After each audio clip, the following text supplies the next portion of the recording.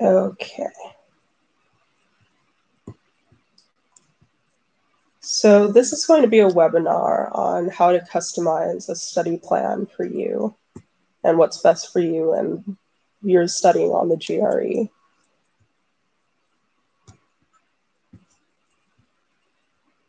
Hello, everyone. My name is Taryn. That's like Karen, but with a T. And I'll be your presenter for today's webinar.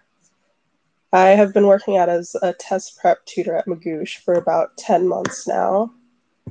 A little bit about me. I was born and raised in Southern California, and I currently live in San Diego. I have a bachelor's degree in developmental psychology from UCSD, and I'm planning to study biology in grad school. I love math, science, writing, and music, and my favorite quarantine snack is sour gummies.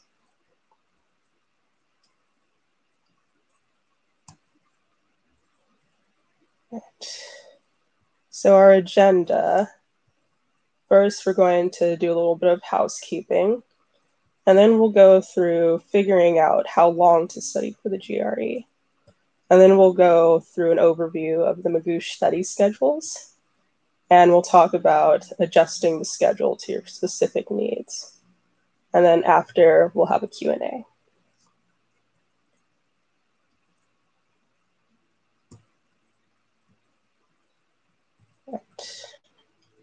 Housekeeping. We'll send the recording and any additional resources after in an email. We'll have a Q&A at the end of the uh, session to answer any dire questions. And if we don't get to your question, you can email us anytime at help at magoosh.com.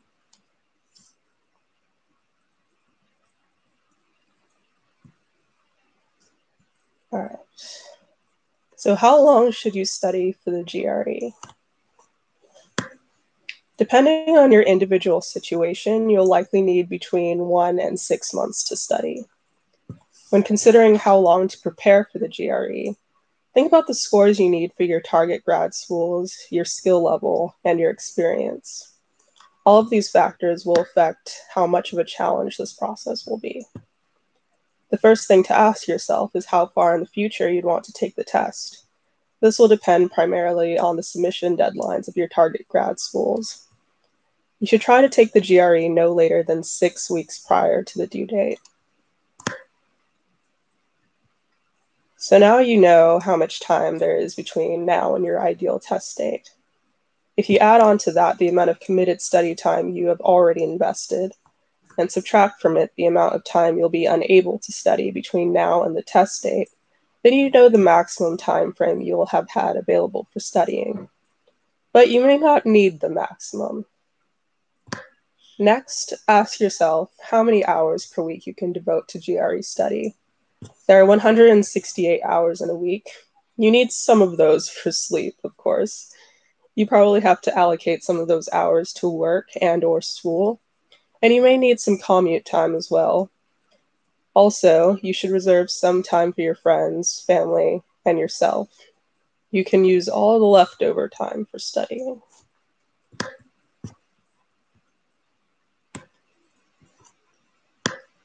For example, let's say there are 12 weeks between your test and when you start studying, and you can study about nine hours per week.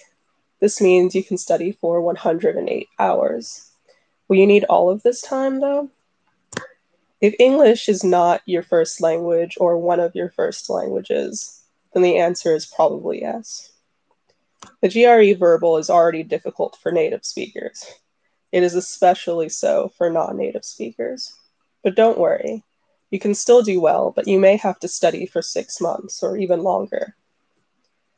Also, how good are you at math? If you regularly work with math, you're likely to need less preparation in that area and less study time overall. If you're unsure about how strong your GRE math skills are, try taking a GRE quantitative diagnostic test. Another question to ask Do you read a lot? If you have been reading diligently over the years, then you probably have strong vocabulary and reading comprehension skills, and you will not need as much time prepping for the GRE. Also, if you're unsure about how strong your verbal skills are, we have a diagnostic test for that too.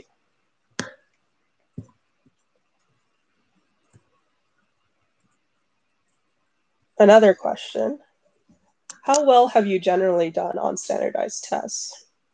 If you are good at taking tests like the ACT, SAT, AP tests, for example, you should not have to study for more than four months.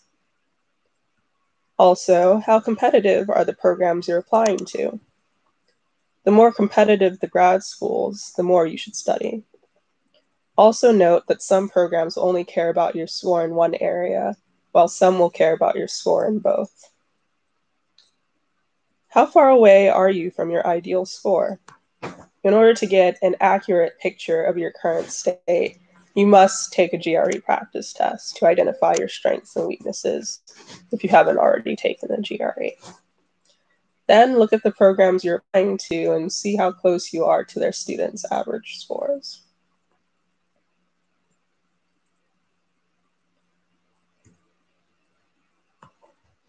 If your combined score on the practice GRE test, that is your math score plus your verbal score, if that's somewhere between 295 and 315, then you are probably at about an average skill level. The average student needs roughly 100 hours to study. And given your specific strengths and weaknesses in math, verbal, or test taking, you may need more or less time than that. Your necessary study time could be as low as 25 hours or as high as 180 hours. If you divide 100 hours, or however many you need, by how many hours per week you are available to study, then you will have the amount of weeks you will need to study, and this will help you determine which study plan to select from the one week, the one month, the 90 day, or the six month study plans. Alternatively, if your time is really limited, you can choose a study plan based solely upon the time left until your test.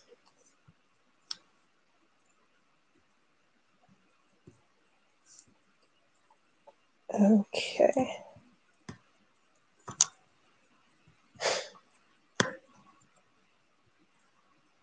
So we have a few questions already. The first is When is the best time to take the GRE? I'm currently a sophomore. All right, if you're a sophomore in undergrad, it's probably a bit early to be thinking about the GRE. Well, you should start thinking about it, but don't start stressing about it just yet. Uh, ideally, if you want to go directly to grad school after undergrad, you're going to want to take it sometime in the latter half of your senior year. If you are going to take some time off between undergrad and grad school, you're going to want to take it closer to when you want to do grad school. Okay, next question. Is 10 days of rigorous 10 hours per day study enough to go from 295 to 315? Okay. So that's a 10 point jump in each section. 100 hours. 100 hours will probably get you more around a five point jump per section realistically. But 10 points is very ambitious. I'm not saying it's impossible, but it is ambitious. Next question. Will the diagnostic test help us determine which study plan we should select from Magoosh? It will definitely help. It will help you determine where you are on your path to studying for either math or verbal, and that'll help you determine how long you need to study and which plan to select. All right.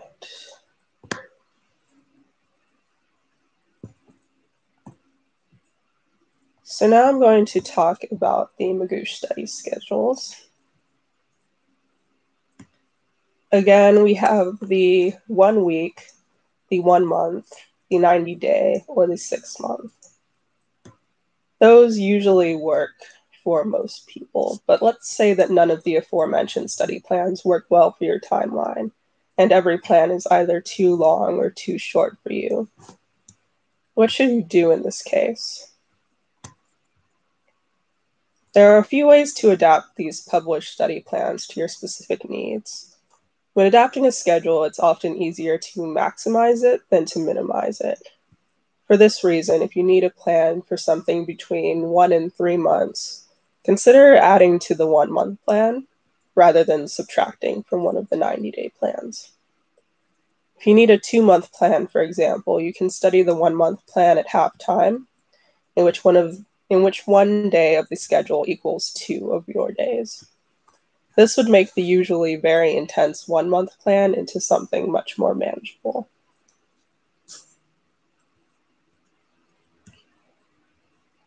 Let's suppose you have four months between now and test day.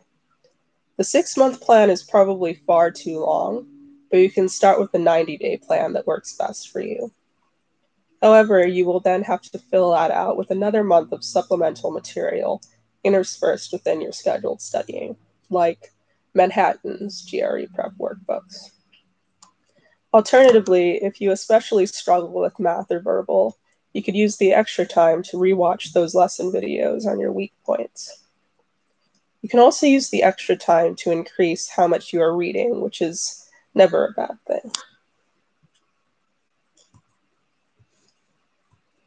Now, let's suppose you have one month and you know you are strong in math, but you need to focus on verbal, or vice versa. In that case, you may just take the quizzes at the end of the math lesson modules. If you do well on every quiz, then you can confirm that you probably are in good shape in math. To focus on verbal, you should watch every verbal lesson twice, making sure not to repeat any a second time until you have seen them all. Then you should do all the verbal practice questions. If you have any time left over for the math questions, use the custom practice tab in your account to select only the hard practice questions. You would do the reverse if verbal is your stronger subject and you struggle with math. Also, the more you can adapt to switching gears to any topic and any source at any moment, the more ready you will be on test day. However, you decide to adjust the study plans, make sure you're still switching things up topic wise.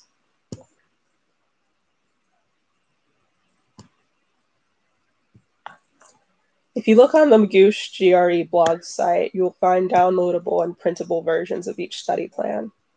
These study plans include up to date, essential, and recommended materials. We also added strategies for studying with our flashcard apps with the recommended vocabulary materials.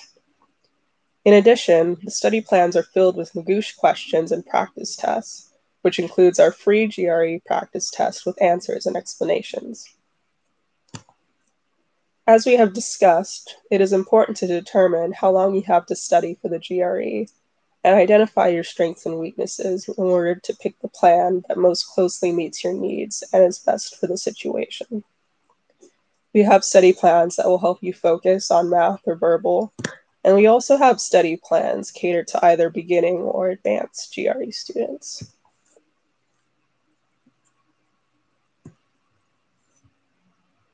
Once you have selected the appropriate plan for you, you should download all the essential materials listed in the study plan. It's ideal to print the Google Doc version of your chosen study plan because then you can use that printed version to check off assignments that you have completed, highlighted concepts that you need to review, and take notes on your progress. I recommend carrying it with you and studying on the go, as on the go as you can be during quarantine. When using the study plan, if possible, you should study a little bit six days a week each week before your GRE. However, you should not study the day before the test. Use that day to de stress and reward yourself for all of your hard work.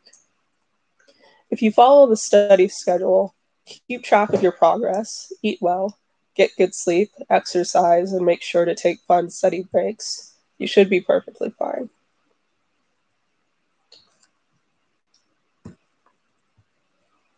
For an extra boost to your study plan, you can adapt it so that you can re- review concepts on the go. Downloading the Magoosh GRE Prep app can help with that. In the app, you can view and track your lessons on the smartphone anywhere you go. If you're looking for more resources to turn to in your studies, check out our big list of free GRE resources, which will be sent to you. This list will help you discover where to find free GRE practice to sharpen your skills even further, as well as the best places to find all the resources you could ever need before test day. Of course, the links to the app and the resource list will be sent to you all in an email.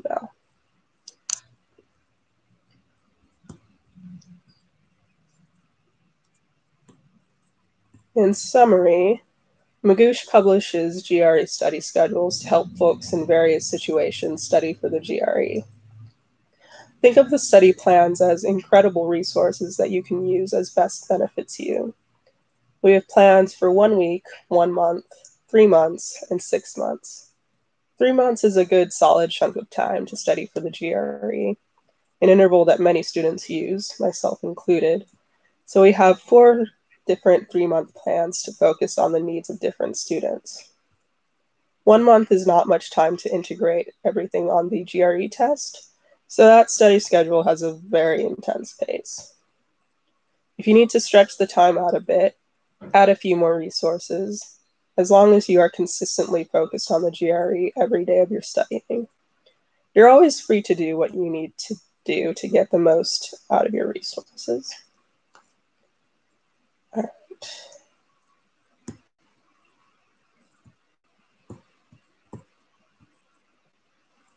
The most challenging aspect of studying for the GRE is learning to manage your study time wisely.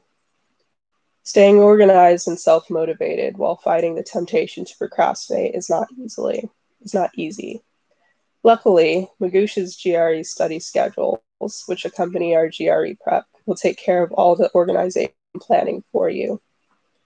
Whether you have one week to prepare for the GRE or several months, and whether you're a true beginner or an advanced GRE student, we have a study schedule for you. We have one week study schedule two one month study schedules, daily or weekly, one weekly 90 day study schedule, four daily 90 day study schedules, one for math students, one for verbal students, one for overall beginner students, and one for overall advanced students. We also have two weekly six month study schedules, one for math beginners and one for advanced math students.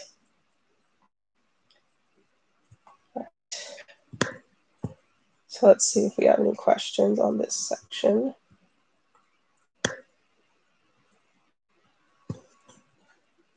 Do the three month beginner plan and three month advanced plan cover both entire syllabus or does the plan skip few of the basics in each section?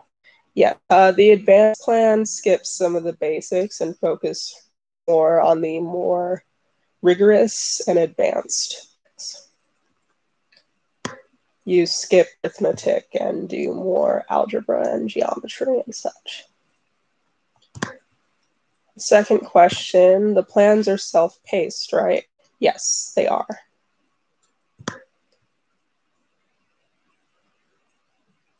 Your next question. In a month, can I do all verbal for GRE? It depends on how far away you are from your goal. If you have a moderate level vocabulary and you're trying to get more advanced, then a month should be sufficient. But if you're trying to go from a beginner to an advanced student in verbal, that may be more of a challenge. All right. Now for adjusting the schedule to your specific needs.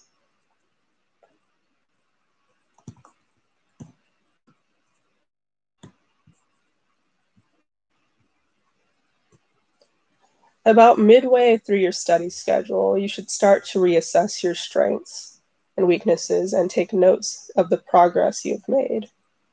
Are there any topics you've already covered that you still struggle to understand? How can you remedy any persistent difficulties? First, it's important to know that there are some topics and skills that GRE prioritizes, prioritizes the most. Your primary goal should be to foster these skills in order to do well on both the verbal and quantitative sections. Doing so may require adjusting your study schedule somewhat. While prepping for the GRE, it's important to understand the different GRE verbal question types because the mixture of question types requires you to switch gears quickly. We'll take a look at the breakdown of questions you can expect to see in verbal sections, including what each GRE verbal question type requires, how frequently it appears, where in the section it comes up, and where to go for more practice. This will help you to know what strengths you should focus on developing. Of the 40 scored verbal questions that you will see during the test, around 23 of them will be reading comprehension. I expect to see passages of various topics accompanied by multiple choice questions of varying complexity. Critical reading is the most important skill to use when approaching reading comprehension questions. These texts are complex, so you can't just casually skim the passages. You want to practice the skill extensively, read as much as you can, and take notes of the main ideas of the text.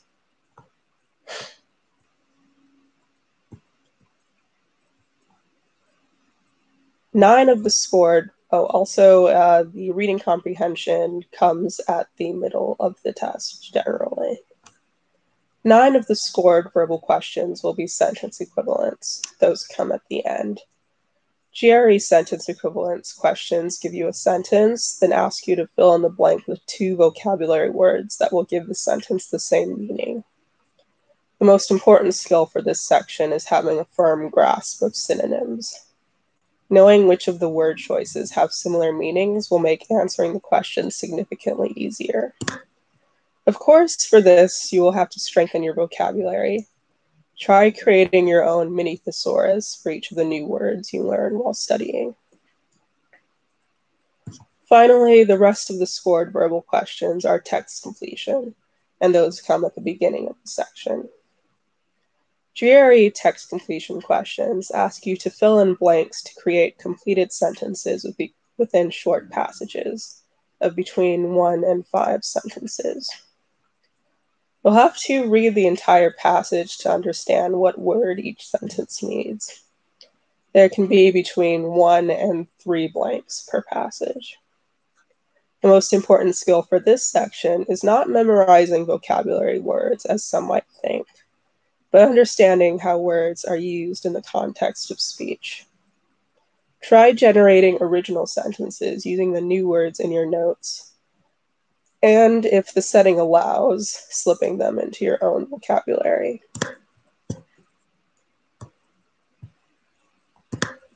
As for the quantitative section, it is important to be familiar with the most important GRE math question types and their respective frequencies.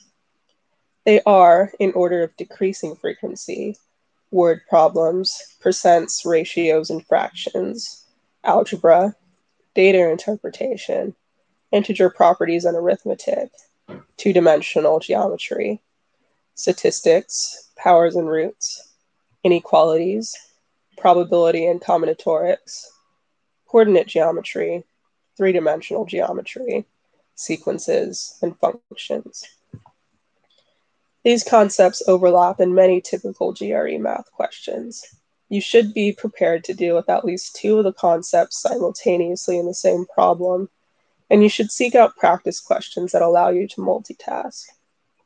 If you filter through the question types under your Review tab, you will be able to see which math topics are your strengths and weaknesses.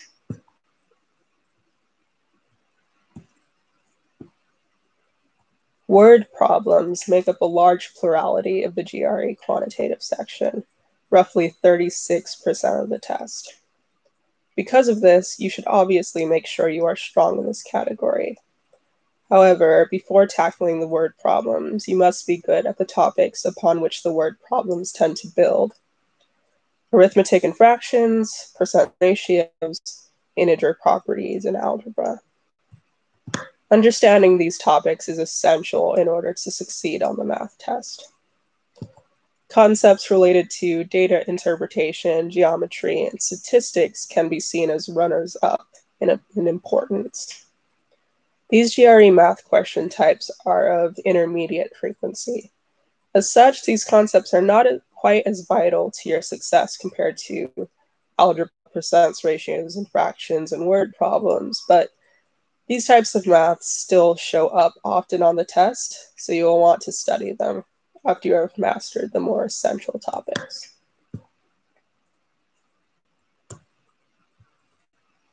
On the other end of the spectrum, topics like sequences and functions, which both have frequencies of under 2%, take the lowest priority in your studies. If sequence or function problems appear on your exam at all, you will likely have one or two questions in these two areas. They really are not the most important GRE math concepts, so it is only necessary to study them if your goal is an advanced score. While studying, your primary goal should be to develop the skills most necessary to do well. For verbal, these skills are critical reading for reading comprehension, synonym familiarity for sentence equivalence, and comprehension of context clues for text completion. If you find that midway through your study schedule you are still struggling with the verbal section overall, it may be wise to refocus your efforts a bit more to the reading comprehension since it comprises more of the test than each of the other two categories do. Reading complex texts frequently can also help you with your vocabulary. However, if you especially struggle with one of the verbal question types, it's best that you focus on practicing the appropriate skill for that category. For the quantitative section, the skills most necessary to do well are word problems, arithmetic fractions, percents and ratios, integer properties, and algebra. Midway through studying, you will want to assess whether you are strong in these topics. If you are not, it may be wise to dedicate the rest of your math studies to them. If you find that you fare well in these topics, you may open your studies up to lower frequency topics. You should attempt to study the lowest frequency topics like probability and combinatorics, coordinate geometry, three dimensional geometry, sequences, functions, only if you are trying to achieve an advanced score on the GRE math of 163 or higher. You can check how well you are doing at specific, specific topics by using the review tab, and you can filter your practice questions by topic in the custom practice tab.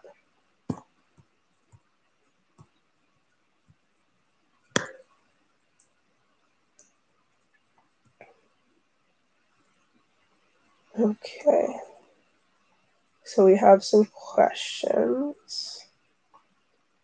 Will Magoosh Premium help design a study plan for me? Well, if you have a Magoosh Premium account, the study schedule, the study schedules are a bit different and they'll be on your dashboard. And the dashboard will check off all of the lesson videos you've watched as well as all the practice questions you've done. However, it won't help you determine which ones you should neglect and which ones you should go over more. That you can only do looking in your review tab and assessing your accuracy on your practice questions. Okay. Next question. I'm a math student and I'm not sure how strong I am in verbal. I'm confused if you, I should go for the beginner plan or advanced plan. Well, first, I would take either a practice test or a diagnostic test, or both, to see how well you're doing in verbal. And you can compare the score that you get to the interpretive data from the GR from the ETS website and see where you fall on these on the spectrum of GRE verbal scores. Uh, if you are struggling in both math and verbal, I would say go for the beginner plan. If you are good in verbal, but you're still struggling with math, maybe go for the advanced plan, but uh, focus more on the math as needed.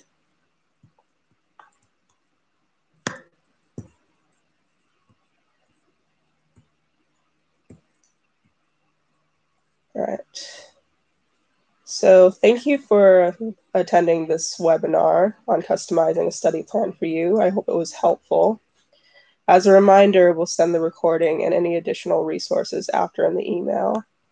The resources include the links to the GRE study plans and guides, the GRE diagnostic quizzes, our free GRE practice test with answers and explanations, the download for our GRE prep app, and our list of free GRE resources. Please let us know if you think any information is missing from that list. And now I would like to open up the floor for a Q&A.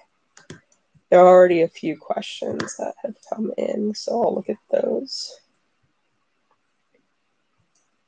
Okay. First question, what is considered a good score?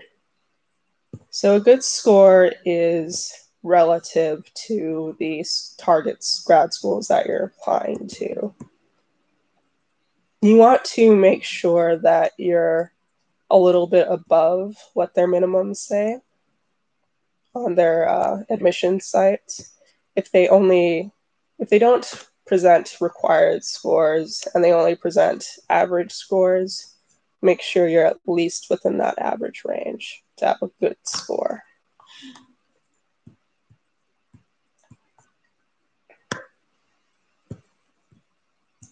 Next question. How much amount of time is required for scoring a 320 or higher?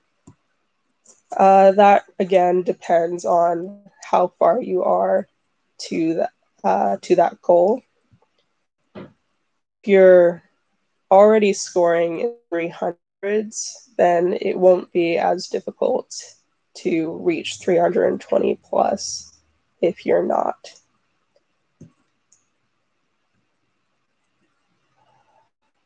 Okay.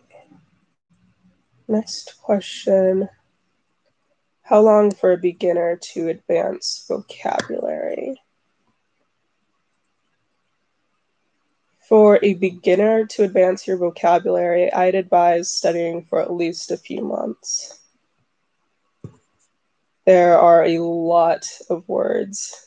On the GRE app, I believe there are about a thousand vocab words for you to study hopefully you'll already have known some of them by the time you start studying, but that will take a good deal of time. And as I mentioned earlier, it's not just about memorizing words, but also understanding their meaning in context and the words that are similar to them. Okay.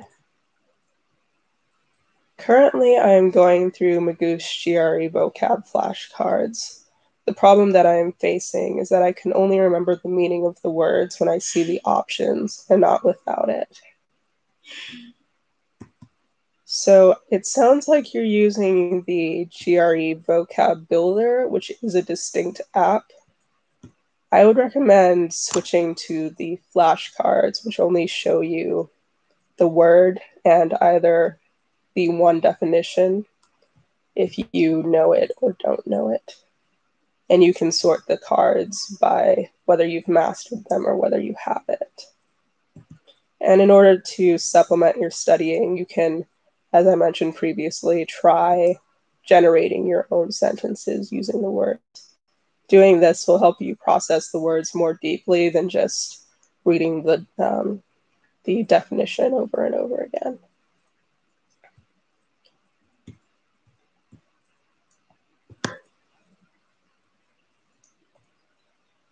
Next question. How do I cope with difficult English words? English part is quite difficult for me. Any tips? Um, if you're struggling with English, chances are you're going to want to um, take the IELTS first. Studying for that will help you a lot in improving your vocabulary if you're a non native English speaker.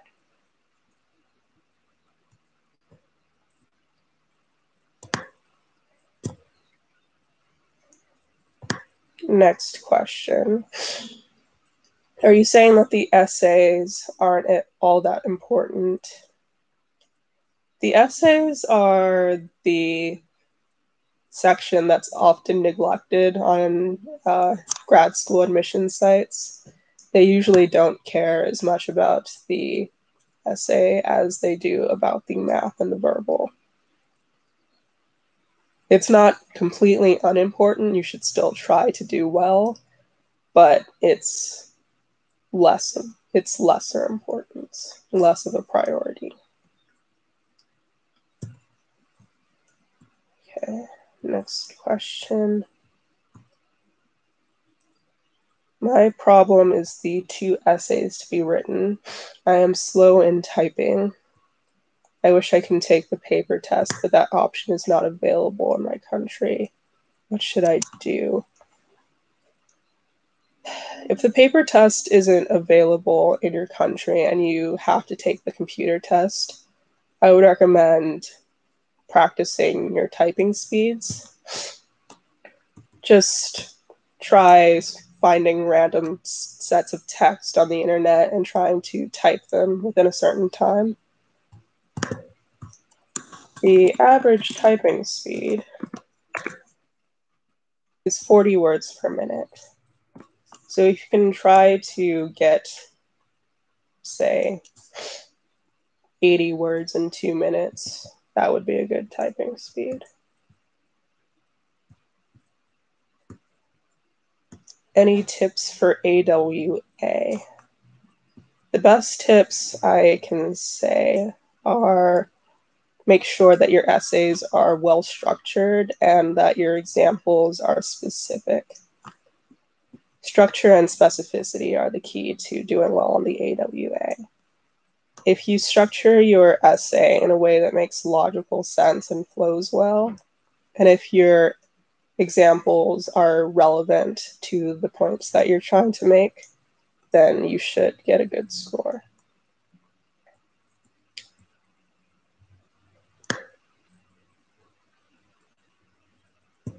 Next question. I have difficulties understanding structures. How to improve understanding of difficult sentence structures.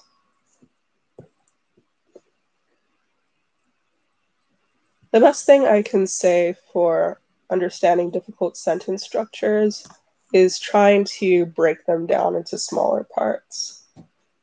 Uh, most longer sentences are broken into pieces by commas and semicolons and other pieces of punctuation.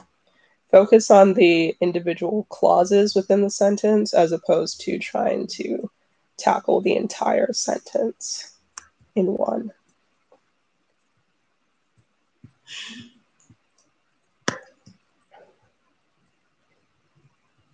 Next question how can I increase my speed in solving quant questions?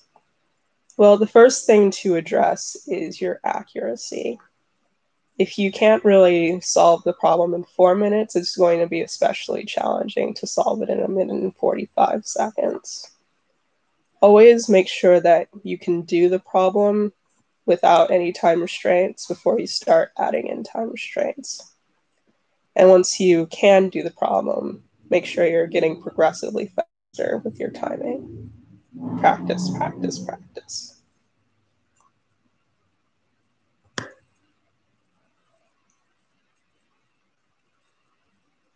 Next question. How should we weigh our time in studying each section? So that's going to depend on how good you are relatively at verbal and math. If you're super strong in verbal, but not as good in math, then you're going to want to put most of your focus into math and just make sure that you're maintaining your verbal. If you're relatively um, even in both, then you're going to want to have a, an even split in studying.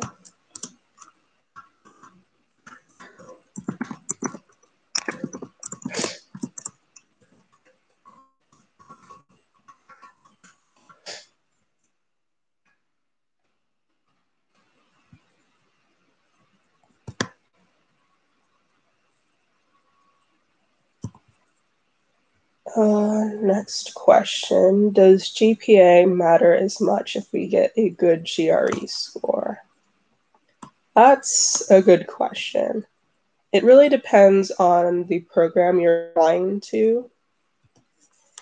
Uh, some programs are more interested in uh, specifically math and specifically verbal, and these programs are going to care more about your GRE scores. Whereas if your uh, field of choice is more broad or more general, then they might care more about GPA than your GRE.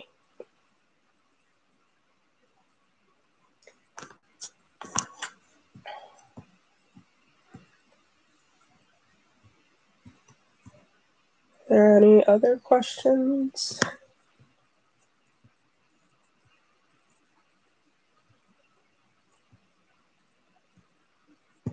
All right. So I think that's it. Again, thank you for coming. It was a blast, and I hope that studying goes well for you and that our study schedules are helpful for you. If you need any extra help, again, you can email help at magoosh.com. And I think that's it. Have a good day, everyone. Bye.